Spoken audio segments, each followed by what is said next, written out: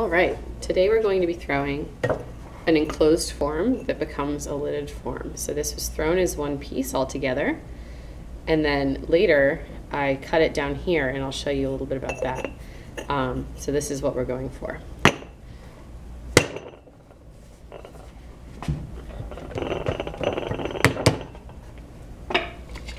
So center the clay just like normal.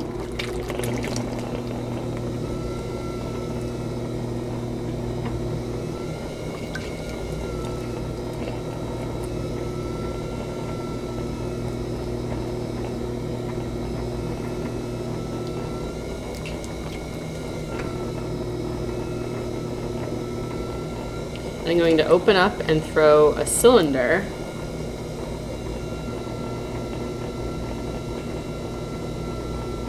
So I'm opening up. I'm going to compress my bottom as usual.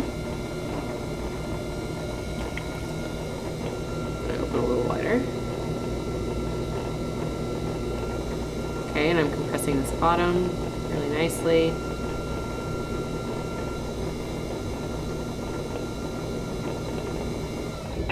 And then I'm going to be doing my pulls. So like I said, I'm aiming for a cylinder.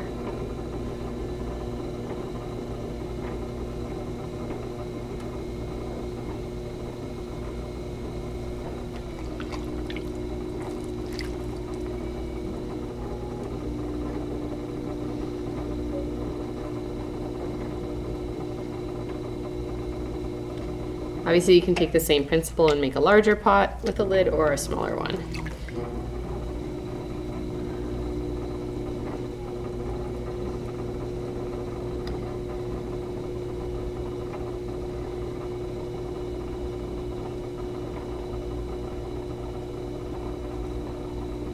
So here's my cylinder. I think I'll get just maybe one more pull out of this.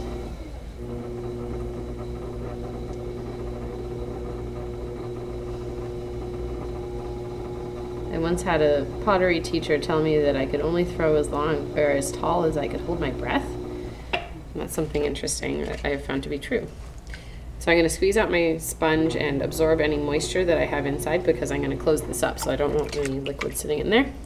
And then I'm going to wet my hands and I'm going to place them on the outside and I'm going to do what's called collaring, which is kind of where you just gently strangle the neck of your pot until it comes in.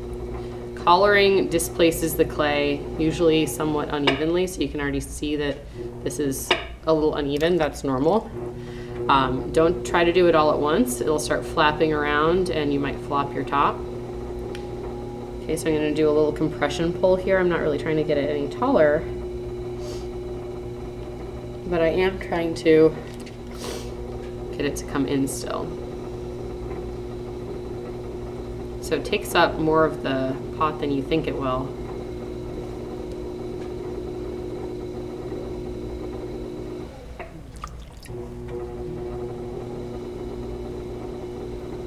I'm to cut off a little bit of this top because I think it's just going to be in my way. Okay, and I'm setting that aside. To keep closing in.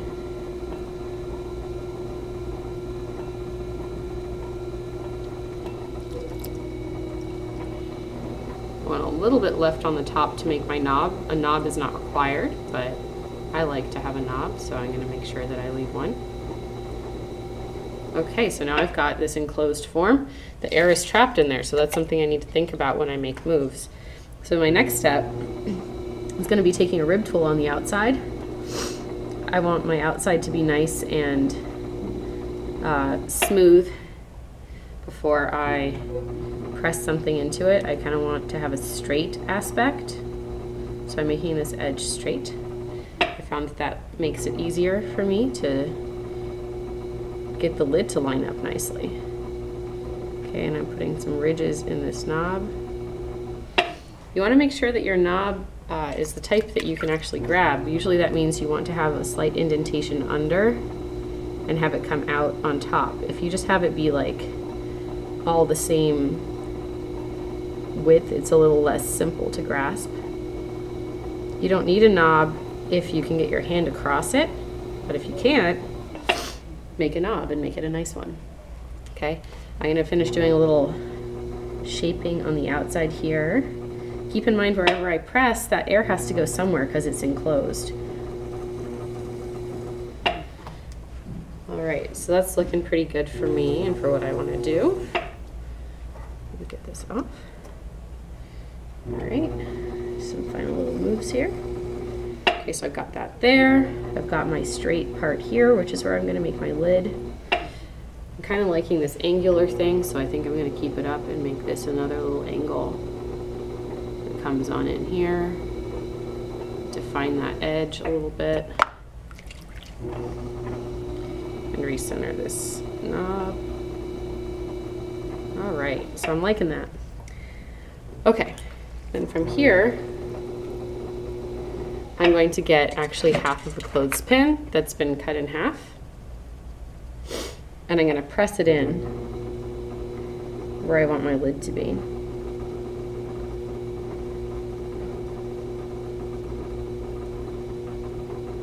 And that's enough, just about. I could probably do a little bit more.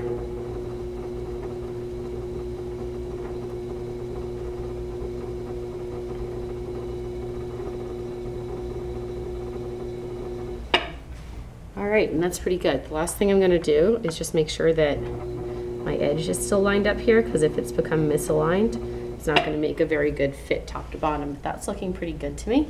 And that is the first part of how you make the lidded form. I'm gonna have a second video that shows how to get the lid off and what to do next.